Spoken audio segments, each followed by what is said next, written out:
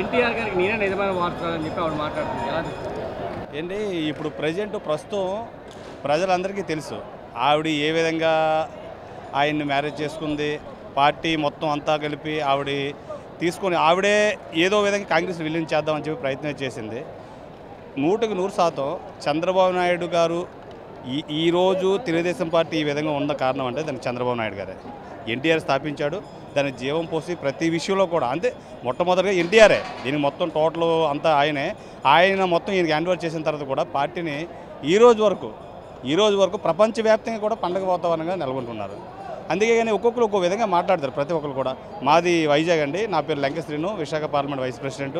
ఇతను మేజర్ అక్కడ కొత్త వలస మేజర్ పంచాయతీ మెంబరు ఈ సతీష్ అని చెప్పి అక్కడ కొత్త వలస మండల కార్యదర్శి.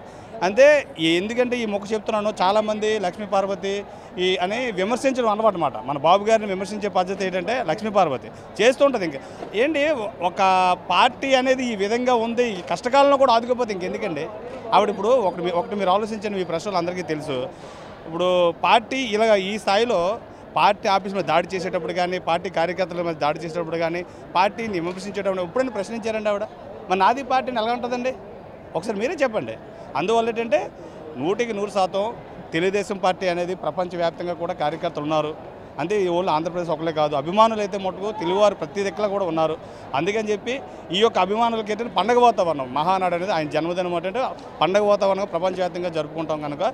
ఈ ఇలాంటి పండుగలు ఇంకా నెక్స్ట్ వచ్చేసారి అయితే మటుకు మేమైతే నూట నూరు శాతం నమ్ముతున్నాం. రేపు వద్దంటే నూట డెబ్బై ఐదు నూట డెబ్బై ఐదు కూడా డెఫినెట్గా మన ఆంధ్రప్రదేశ్లో డెఫినెట్గా వస్తుంది.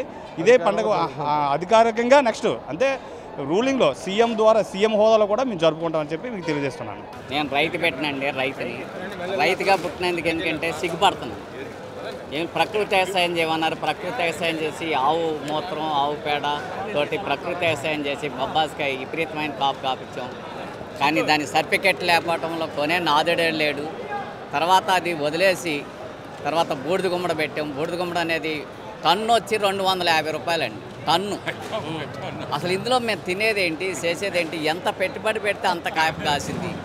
రెండు వందల యాభై రూపాయలు ఎంత దీన స్థితిలో దిగిపోయాం చూడండి. అలాగే మొన్న వర్షాలు కురిసినాయండి. ఇప్పుడు ఏంటంటే మనకు రైతుకి కొంచెం అనుకూలంగా ఉంది మొక్కజొన్న అండి. మా ఏరియా మొక్కజొన్న పెడతాం.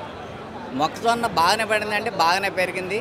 వర్షాలకి మొక్కలు వచ్చేసి ఇరుసు కింద పడేసాం నీళ్ళు బోధులన్నీ నిండిపోయి మొక్క మొలిసిందండి ఆఫీసర్లు చెప్పాం మొక్క మొలిసిన రాయట్లేదంటే ఏదో శాంతం పోతేనే కానీ అన్నారు.